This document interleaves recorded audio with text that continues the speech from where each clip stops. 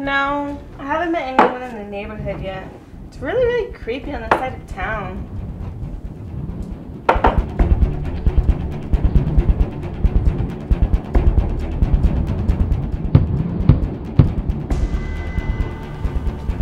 Hey, can you call me back in a bit? Someone's at the door.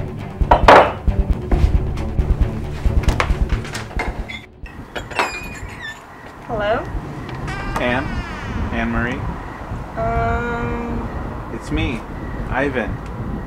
SVSU? Class of 08? oh my god, Ivan LaCourt? Where have you been? I've been really sick.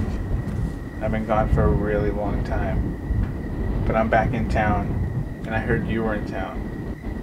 I just want to welcome you to the neighborhood. Oh, that's so sweet, Ivan. You want to stay for a bit? We can catch up on old times. Sure.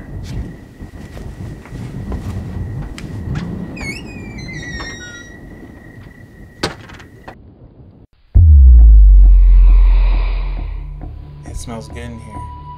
Thanks, I have a roast in the oven. I'm gonna open a bottle of wine. Do you want some? How long has it been, Ivan?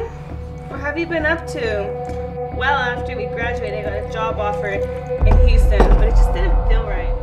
I tried to put up with the big city life, but. Shit! Ivan, stay where you're at.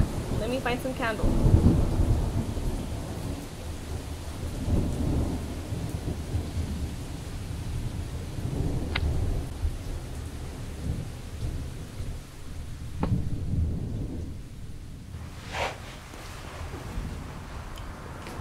So I wanted to ask you, why'd you disappear?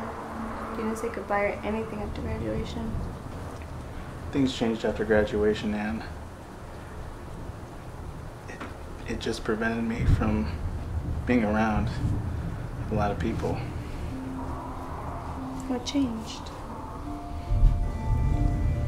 If I tell you, I'm gonna have to kill you. Really? How'd you know I was back in town?